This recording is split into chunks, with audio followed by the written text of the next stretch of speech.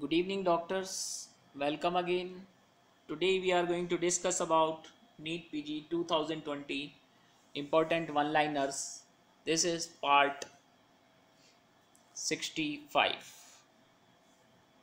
Most potent opioid is sulfentanyl, sufentanil.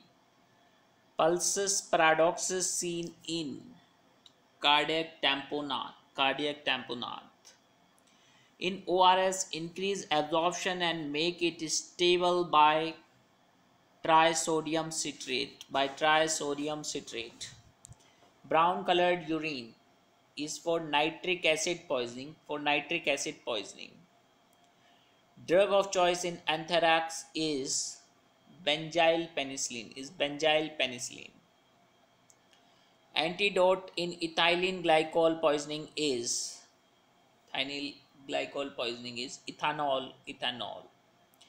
Max Joseph space is seen in lichen planus lichen planus. Highest frequency wave in eeg is beta waves is beta. Melanoma with worst prognosis seen in a melanotic melanoma amelanotic melanoma. Okay Sign of activity in uveitis is cells in anterior chamber. Cells in anterior chamber. So guys, I hope till here it's very much clear for you.